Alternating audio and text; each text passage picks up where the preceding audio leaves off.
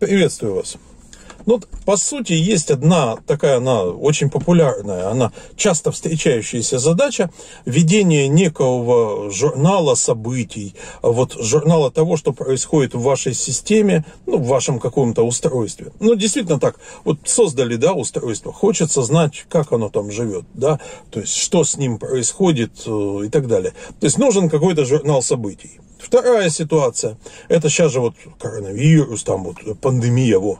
А, тоже надо вот как-то, допустим, создаем маленькое такое масипусенькое устройство, которое повесим на бабушку, и это вот а, устройство будет собирать какие-то сведения об этой бабушке, там температуру, еще что-нибудь там, а, давление, ну мало ли там и сохранять себе в память, а мы хотим потом это проанализировать. То есть тоже своего рода журнал, тоже своего рода лог, и здесь как бы проблема заключается в чем? Я вот лично, я любитель э, флеш-памяти. И мне бы хотелось, конечно, все хранить во флеш. Потому что, ну, во-первых, я там, допустим, EPROM. Ну, а что EPROM? Можно, конечно, поставить дополнительную микросхему. Но это дополнительные несколько э, квадратных миллиметров на вашей печатной плате, плюс дополнительная строчка в бум-листе, плюс там ля-ля-ля-ля-ля, и все, все, что с этим связано. Окей, ладно, есть CE, если кто, кстати, не знает, у ST Microelectronics L1, там есть несколько микроконтроллеров, которые содержат EEPROM, который тоже можно пользоваться. Но, а в чем проблема использования флеш? Ну, во-первых, в том, что ее стирать можно сколько? около 10 тысяч раз. И, конечно же, все боятся, что это, ну, изнасилуется. Ну, кстати, вот есть, есть на канале уже два ролика на эту тему. Первый – это там, где я показываю, как хранить конфигурацию во флеш-памяти. Ну, достаточно интересный он такой получился. Там все просто, потому что конфигурацию же мы с вами сохраняем, э, ну, не каждый день. То есть, поэтому вот э, есть такое. А второе, значит, это ролик, где я показываю, как в той же флеш-памяти можно организовать виртуальный диск, а потом через USB с ним работать. Но опять-таки, мы же работаем с ним не круглосуточно, не там 200 раз в день. А вот э, лог хотелось бы вести достаточно часто.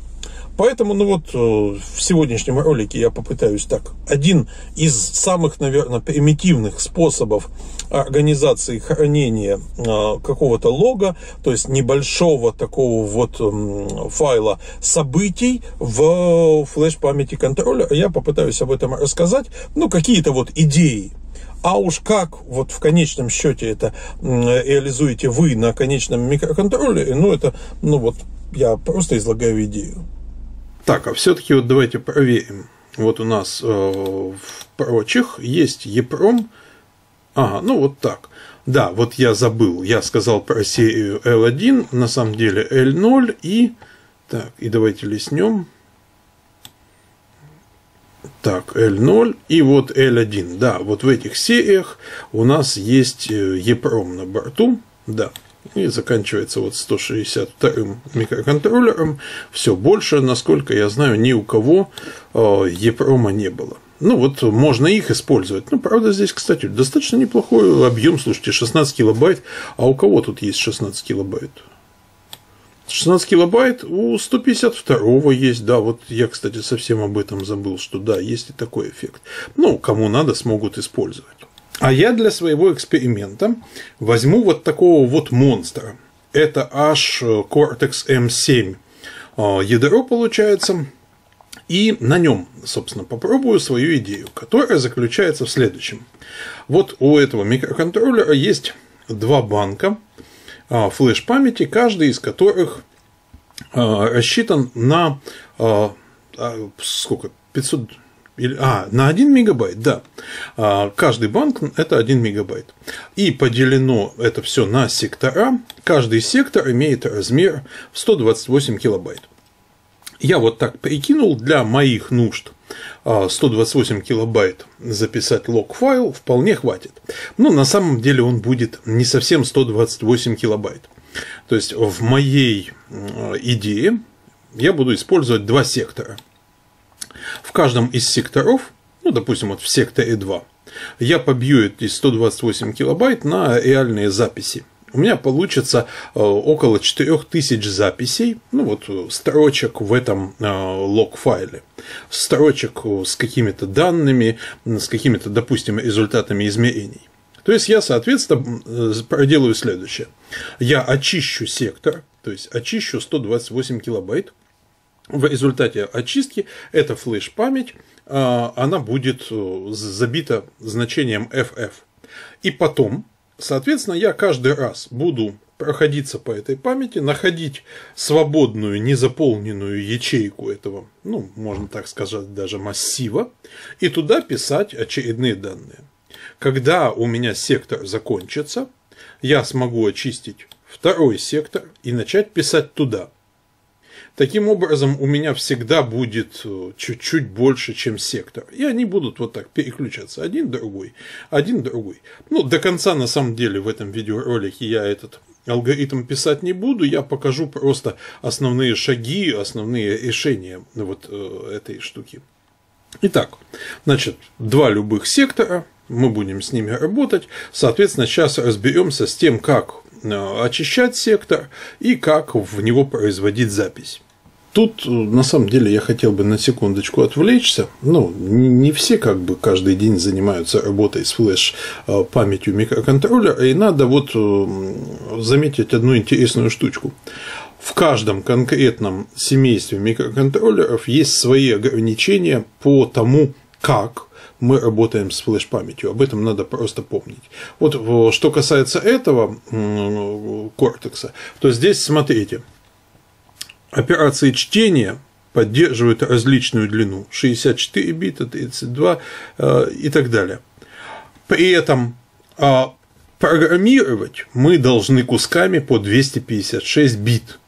Вот это вот такое вот ограничение у нас. То есть мы, в принципе, вот единый кусок программирования из вот этих 128 килобайт будет 256 бит. Нас это вполне устраивает. Мы должны, это единственное, что должны об этом помнить, чтобы мы не попытались записать меньше или больше. Ну, то есть надо делать э, какие-то вот элементы, или так их назовем записи, кратные 256 битам.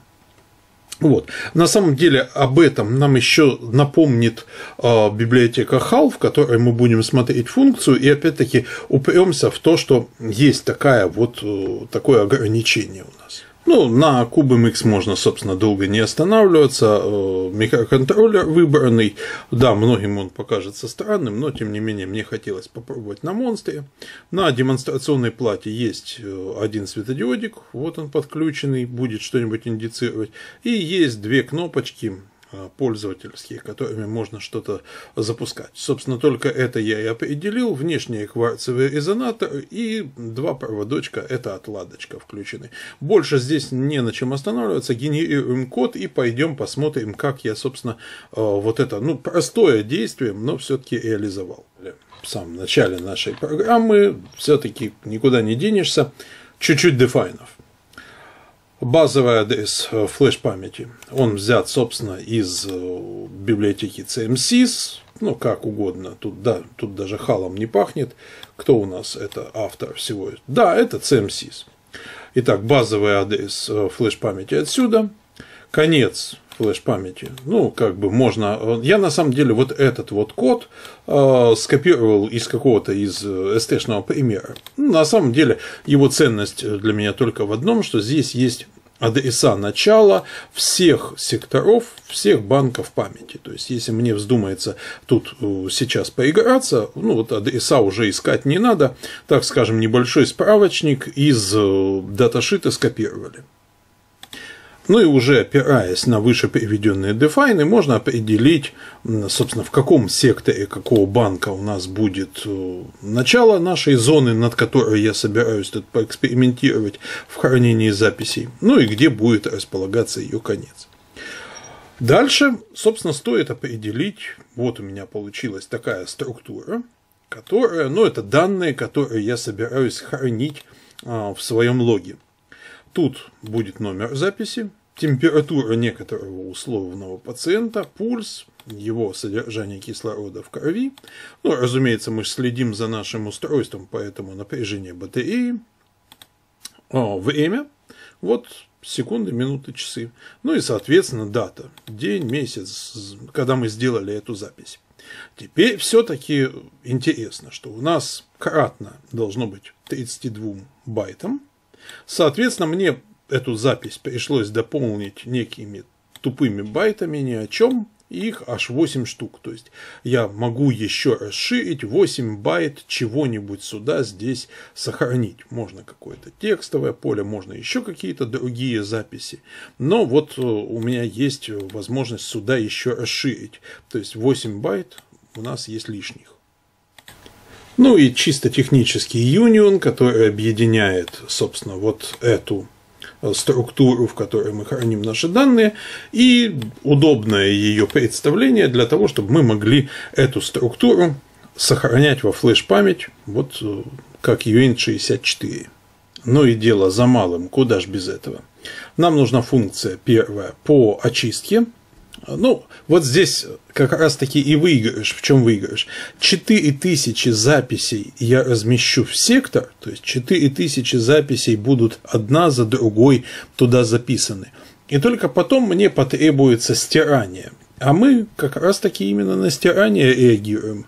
Поэтому, ну, получается такая достаточно ощутимая экономия. Но, тем не менее, здесь определяются номер сектора, мы определяем, который будет соответствовать тому или иному адресу. Соответственно, заполняем структуру очистки, какой банк, как мы стираем, в каком режиме, ну и вызываем flash erase, Собственно, если на самом деле перейти и посмотреть, что ей нужно отдать из параметров, ну, тут ничего такого сложного нет. Ну и, соответственно, вторая часть – это программируем. То есть мы будем выдавать некий адрес этой функции программирования, а она должна будет взять нашу структуру, ну, структуру нашей э, записи вот в этот лог – и поместить ее, собственно. Ну, здесь, понятное дело, все упрощено, тут бы проверочек поставить, окей или не окей, но вот э, как проверка концепции идеи вполне подходит. Ну и куда же без него? Наш main будет заключаться в следующем. Инициализируем HAL, инициализируем все тактирование, порты ввода-вывода, разблокируем доступ к флеш, ее очищаем, то есть очищаем наш сектор, а теперь создаем record 1, то есть первая запись в лог-файл, у нее номер 0, дата ля-ля-ля, заполнили и запрограммировали. Здесь можно, на самом деле, вот перед записью 2 можно ставить паузу любой длины, можно хоть, а, извините, хоть перезагрузиться. Значит, мы заполняем несколько другие данные и пишем, как вы видите уже по смещению, 32. На самом деле, то есть это вот э, это первая такая итерация и проверка, работает это или нет. Тут бы по-хорошему сделать пробежаться и посмотреть, когда закончатся, вот, э, когда закончатся эти записи. И, соответственно, уже тогда присвоить какое-то смещение. Ну, в данном случае, вот э, я прописал это ручками. Значит, опять-таки программируем. После этого мы можем блокировать доступ к нашей флеше. Ну и вот пустой цикл пусть крутится. Я тут думал лампочкой мигать, потом уже в конечном итоге все закомментировал. Вот тут э, один интересный момент, когда я сказал, что пробежаться и посмотреть, когда записи закончатся. Ну, действительно, вот если наше устройство перезагрузилось, если вот э, там на reset нажали, да что угодно, как узнать, где закончился, да? То есть логично идти с шагом там в 32, смотреть э, номер записи, и когда мы получим, прочитаем FF, Значит, ну, в данном случае она, кстати, оно у нас достаточно длинное. Сколько тут? Юнит 32, то есть не FF, а число несколько побольше. Когда мы увидим там написанные сплошные FF, мы считаем, что у нас все закончилось и все, вот в это место можно и писать. Как? Как бежать вот по этой памяти? И вот, смотрите, интереснейшая вещь. Массив вот этих вот значений – длиною в 4096 элементов, что как раз и равняется 128 килобайт, мы как раз таки и помещаем вот по этому адресу. То есть теперь мы можем обращаться не на запись. Теперь вот э, после вот такой вот интересной конструкции мы можем обращаться к флеш-памяти как э, к массиву для того, чтобы просто пройтись в цикле по элементам этого массива и просмотреть, получить доступ ко всем записям лог-файла. То есть, допустим, если у вашей программы стоит ну, задача, к примеру, выяснить, когда у пациента была наибольшая температура, то есть вы просто идете по этому массиву, ну, то вот такая неочевидная конструкция с атрибутами и вот э, эта инструкция линковщика, ну вот, э, если кто не знал, опять-таки тоже можно почерпнуть вот такую интересную конструкцию. Ну вот я не знаю, как она работает э, в куб IDE, а вот в Кейле это вполне себе рабочий пример. Итак, я не стал долго затягивать время, я загнал это в отладчик, как видите, программа запущена и сейчас болтается где-то вот здесь, а, вот в этом бесконечном цикле, а меня интересует следующее. Я хотел, а, собственно, главное показать, как отрабатывает вот этот массив. То есть, как вы видите, адрес в памяти, куда его линковщик направил здесь, и вот мы можем видеть, то есть, его элементы, там 4000 с лишним, нулевое – запись номер 0, все как положено, и запись первая, вот она. Следующая мы должны, как вы помните, увидеть FF. Есть. Соответственно, номер ячейки у нас есть. Это число умножаем на 32, подставляем вот сюда, и мы можем писать следующее значение. Ну вот э, такой вот э, достаточно простой примитивный пример Э, реализации лог файла и хранения вот э, таких массивов информации во флеш-памяти микроконтроллера, соответственно, вы можете самостоятельно, если это вам необходимо, переделать к этому процедуру переключения с одного сектора на другой, все необходимые проверки, ну и если это нужно, там формирование любых отчетов. Вот просто как э, идея сдаю. Надеюсь, кому-нибудь пригодится. Огромнейшее вам спасибо за просмотр. Подписывайтесь на канал и всего вам доброго. До новых видеороликов. До свидания.